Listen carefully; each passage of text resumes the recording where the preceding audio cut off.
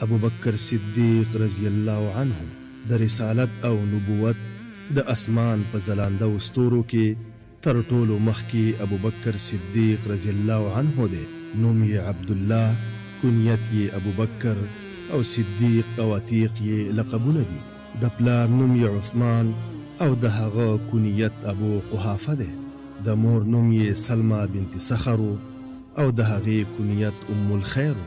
له مشهورې واقعې عام الفیل نه دوه نیم کاله وروسته په پنځه سوه درې اویایم میلادي کې پیدا شوی دی.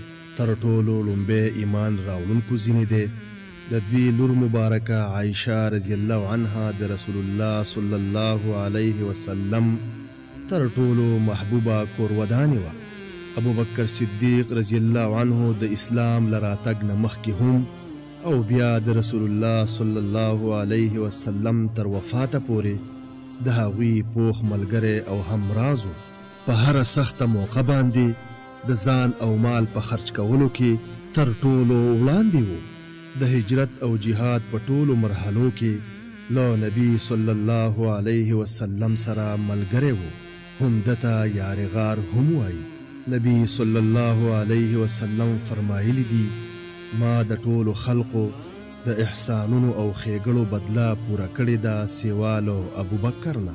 ابوبکر رضي الله عنه په هغه خلقو کې دی چې د جنت له اته واړو دروازو نه به بللی شي. د رسول الله صلی الله علیه وسلم له وفاته وروسته خلیفه وټاکل شو.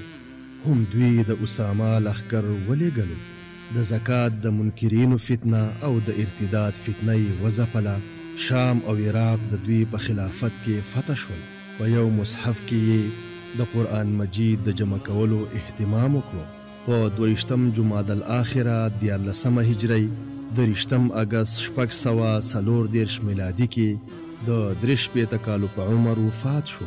د خلافت موده یې دوه کاله درې میاشتې او یوولس ورځې وه.